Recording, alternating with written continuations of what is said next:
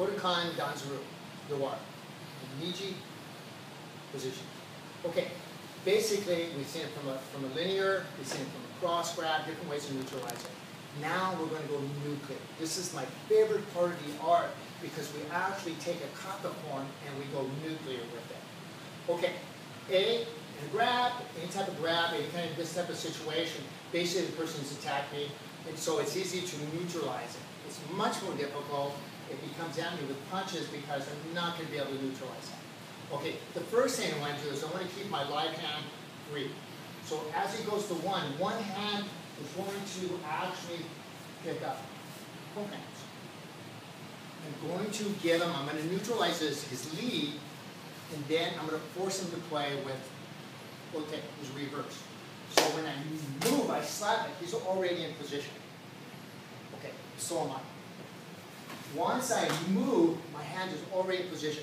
Now, he's recycled, he's going to turn into me, and he's going to let me have it. So I need to neutralize that third threat. And the way I do that is force him to take a hit. I force him to take my feet. So as I move, I come across. Now, let's just say he doesn't block it and he goes to punch. It doesn't matter. He's neutralized. I've neutralized my opponent. Game is over. Checkmate. Okay. So what I'm going to do is I'm going to neutralize it with a strike. I'm going to force him to play the game. If he punches, I knock him out. If he picks it up, I got Momiji. Either way you look at it, game's over.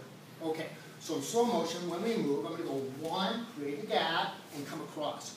Once I'm moving in this position, I'm going to manipulate my opponent into Momiji.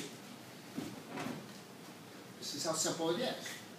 One, two, three, go up this, and this is Momiji. This is the best way to practice it, because now we're dealing with aggression. We're actually making our art combative.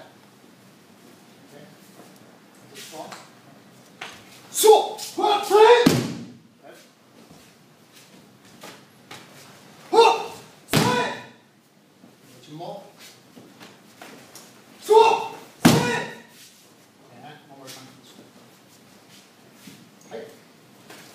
そう。そ